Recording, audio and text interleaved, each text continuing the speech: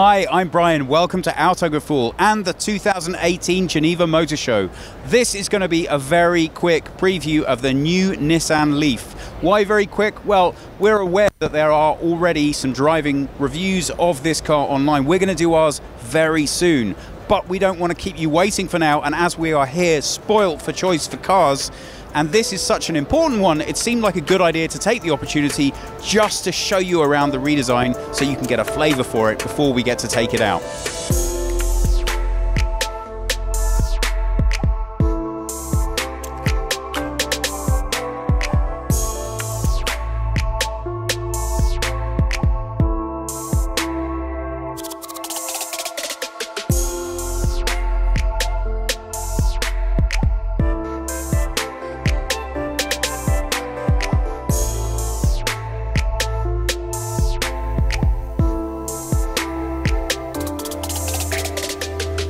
Now, there haven't been many cars in history that have divided opinion so dramatically as the last design of the Leaf. What do I mean by that? It was incredibly popular. It's one of Nissan's best selling models and it is the best selling electric vehicle that you can get. The styling is what I mean. Now, okay, you have an awful lot of batteries to fit into any electric car. But seriously, Nissan, the previous one looked a little bit like you described a car to a person who'd never seen one before, given them a piece of paper and said, go ahead, draw what you like. It had its fans. I wasn't one of them. Fair enough. But I think even Nissan recognized they wanted to make the styling look a little bit less controversial, shall we say. And at first glance, I think that they actually have approached that it's still very definitely a Nissan. The angularity is all still here. And why limit yourself to having black lacquer piano inside the car when you can put it right on the bumper? Again, not my taste, but never mind. Compared with its predecessor, this does look a lot more modern. We still have very sculptural angular headlights, but they look a little bit more intentional now. They look cut into the bodywork rather than sticking out and extruding from it. So I think that's a huge improvement. Let's take a look and see how it runs through into the side.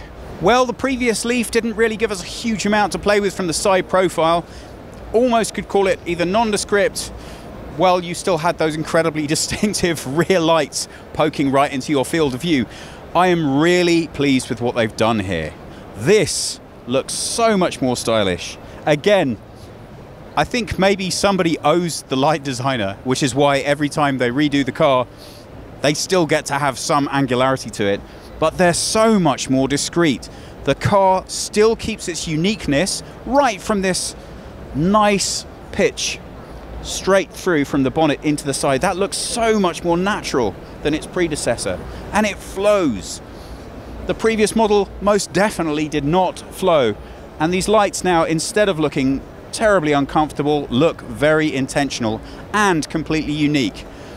Good job, is what I would say. Nicely done, Nissan. This is a car that I'm not going to be embarrassed to drive. Through to the rear now, and wow, what a change. Now, some people might say, well, I still don't like it that much.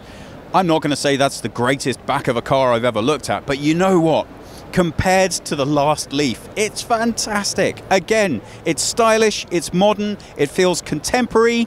There are many people walking in front of this shop, but we're going to keep going. We're professionals. It really makes a statement, and the statement is this is a Leaf. It's completely unique, it's not confusable with any other car, but it's also not overblown and too much. I'm really impressed with how they've done this, and I think if they've carried that through to the interior, it's really a step in the right direction.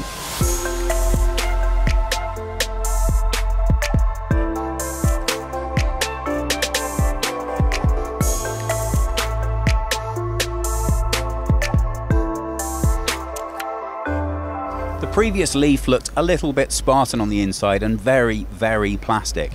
I think that they've really worked hard to continue that evolution in style and design in the interior. Look at this! It's a huge improvement.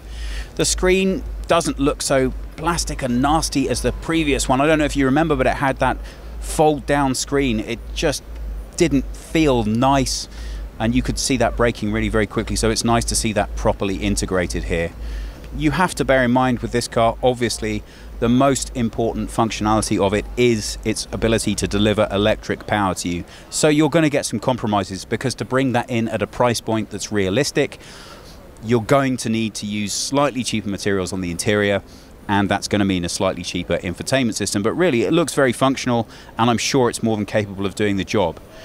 The steering wheel feels like a grown up steering wheel compared to what came before. We now have this full functionality. Here we have a partially digital display.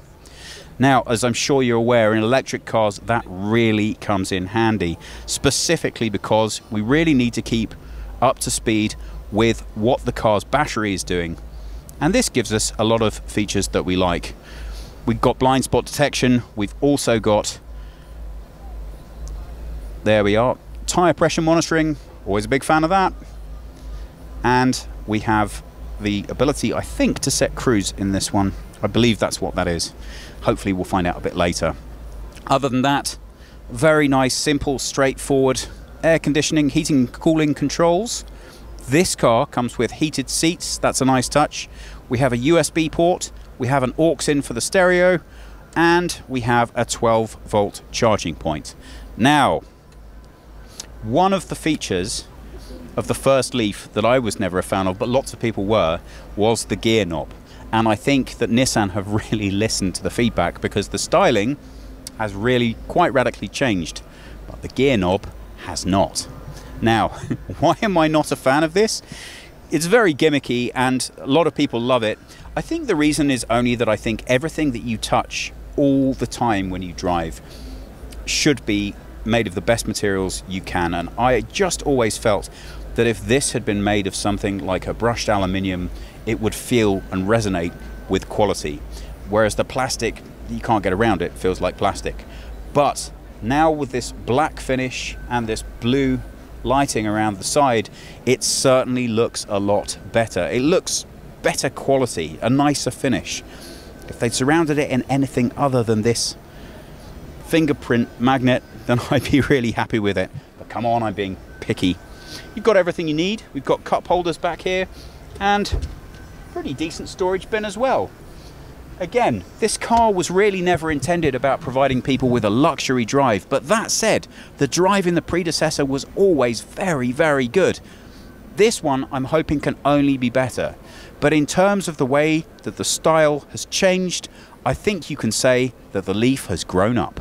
I think for me, one of the things that I've always liked most about the Leaf is that where other manufacturers have been pursuing making bigger, making faster, Nissan, I really think we're pioneers in terms of saying, look, electric can be for everyone and we can make a very credible car.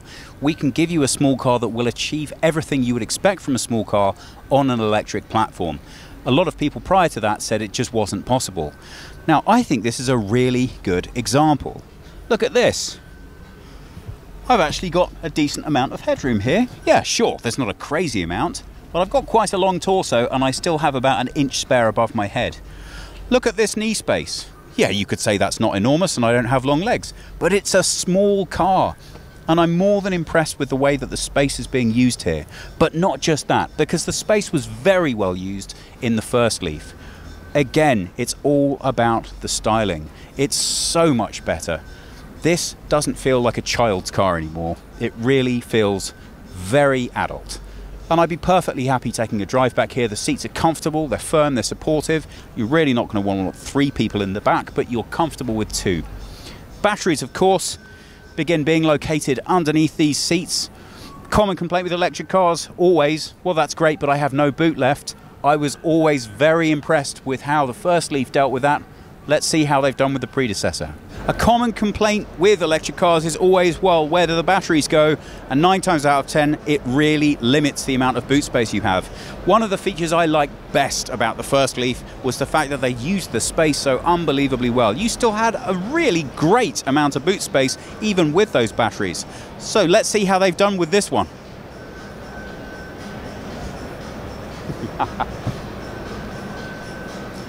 wow. That is absolutely fantastic. Now you might be looking at that thinking, where on earth are the batteries? Well, as with the first, I believe that they are underneath the back seat. So there's no shortage of room in here. Obviously, we're a little compromised in terms of the loading area. That is certainly not what you would call a zero depth entry, but that's giving us as much space as we could possibly want. We have a little just covering there, there's nothing underneath. We even have a subwoofer in the back. And nicely, in contrast to a lot that you can see fitted on cars, this is not going to be hurt or affected if you load shopping on top of it. So, really nicely thought through, really decent space. Well done, Nissan. So, the new Nissan Leaf, what do we think? Well, I did say at the start it was going to be a very brief look, specifically because there's a lot more detail to come when we do the driving test. But I was desperate to see what they'd done with the redesign, and this just gives you a taste of what's to come. Well, I have to say, hats off to Nissan. If the first car was a revolution in terms of electrified transport and offering a relatively inexpensive for an electric car that people could buy en masse rather than just wealthy people, then this car is a revolution in style. I'm so happy to see that it hasn't lost its distinctive character, but it has lost some of its. Hmm. Well, you can put that word in there instead. I think it's great. The interior is nice, it looks a lot more grown up, it feels a lot more grown up, and overall, I would say it's a superb next step for the Leaf. Now, will that be delivered in terms of the drive? Will you still feel that same range anxiety? Will you still have to fork out really rather a lot more than for its non electric opponents? Well, we're going to have to wait to answer those questions. But for now, I think it's a very nice job indeed, and I'm really looking forward to giving it a drive.